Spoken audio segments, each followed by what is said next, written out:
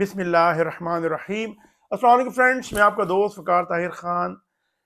Lisbon, Portugal سے نہیں Amsterdam Holland سے ایک بار پھر اپنے دوستوں اور بھائیوں کی خدمت میں حاضر ہوں۔ فرینڈس آج آپ کے ساتھ میں ایک ایسا زبردست کنٹری آپ کے ساتھ ڈسکس کرنے جا رہا ہوں کہ جہاں پہ آپ کو جانے کے لیے ای ویزا چاہیے اور وہ نہایت ہی آسانی سے ہر پاکستانی کو مل جاتا ہے، چاہے کہ آپ جاب کر رہے نہیں کر رہے، بے روزگار لوگوں کو مل جاتا ہے۔ انگلش اسپیکنگ کنٹری ہے اور یہاں پہ پاکستانی کمیونٹی بھی بہت زیادہ ہے۔ بہت سے لوگ اس چیز کو سمجھتے نہیں یا ڈسکس نہیں کرتے، لیکن میں آپ کو بتانے جا رہا ہوں اس کنٹری کے حوالے سے۔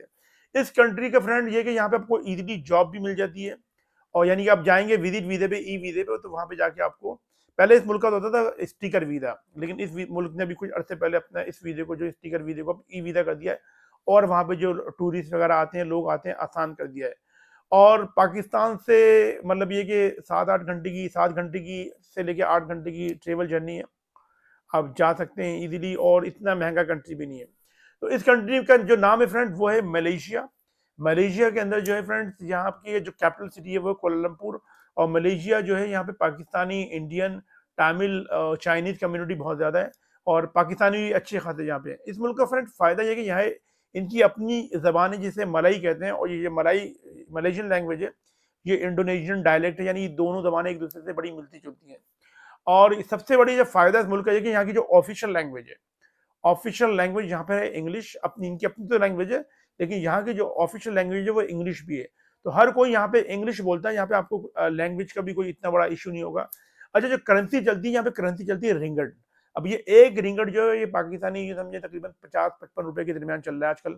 تو کرنسی بھی اچھی ہے، اگر آپ فرض کریں گے ایک ہزار رنگٹ کما لیں تو یہ تقریباً پچاس، پچپن ہزار روپے بن جاتے ہیں۔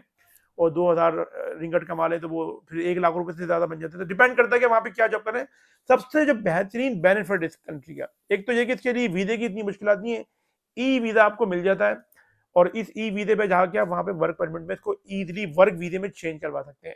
اچھا ان کا جو موسٹلی جو ویزا ہے، وہ کوئی ریسیڈنس کارڈ نہیں ملتا۔ نارملی جو آپ کا پاسپورٹ ہوتا ہے اسی پہ یہ ورک ویزا لگا دیتے ہیں تو اس پہ کام آپ کر سکتے ہیں۔ اچھا اس میں یہ کہ یہاں پہ اچھا کاروبار بھی کر سکتے ہیں۔ یعنی جاب تو آپ کو اچھی مل جاتی ہے۔ میرے کافی سارے کلائنٹس ہیں جو ملیشیا میں رہتے ہیں، جن جو اپنے Schengen visa U S Canada وغیرہ کا پروسیڈ کرواتے رہتے ہیں۔ اور تو اس میں یہ کہ یہاں پہ جاب بھی اچھی مل جاتی ہے یعنی لیبر کیٹیگری میں آدمی کو ایک عام آدمی جو ہے وہ دو سے تین ہزار رنگٹ وہاں پہ کما لیتا ہے، جس میں اس کو رہائش بھی مل جاتی ہے کمپنی کی طرف سے۔ کھانا پینے کا بھی معاملہ ہو جاتے ہیں دو سے تین اور پھر اگر آپ کو اسکل آتا ہے، اگر آپ ٹھیلر ہیں، اگر آپ کوئی پلمبر ہیں ٹیکنیشین ہیں الیکٹریشین ہیں، کوئی آئی ٹی اسپیشلسٹ ہیں، تو اس میں آپ کو اچھے پیسے کما سکتے ہیں۔ اور یہ دوسرا یہ کہ اس ملک کے جو برابر میں جو نیبرنگ کنٹریز ہیں، وہ ہے سنگاپور ایک سائڈ پہ اور دوسری سائڈ پہ جو ہے وہ اس کا ہے سائلینڈ تو یہ ان دو کنٹریز میں بھی آپ ایزیلی ٹریول کر سکتے ہیں۔ تو ملیشیا کا فرینڈ ایک تو یہ کہ یہ ایک چھوٹا سا ملک ہے، چونتیس ملین کی اس کی آبادی ہے۔ اور خوبصورت شہر کولالمپور اس کا جو کیپٹل سٹی ہے۔ اور تو اگر آپ لوگ ٹرائی کرنا چاہیں تو آپ اس ملک کی بھی ٹرائی کر سکتے ہیں۔ اس کے لیے ویزا میں نے آپ کو پہلے بتا دیا کوئی اتنا مشکل نہیں ہے۔ ای ویزا ہوتا ہے، اگر آپ وہ اپلائی کریں گے تو آپ کو جلد جلد مل بھی جائے گا۔ تو فرینڈ یہ آج کی ویڈیو آپ سب اپنا بہت بہت خیال رکھیں، اپنے پیرنٹس اور اپنے بزرگوں کا بہت بہت خیال رکھیں اور اپنے بھائی کے چینل کا۔ میں ملتا ہوں آپ سے اپنی نیکسٹ ویڈیو میں۔ السلام علیکم۔ اللہ حافظ۔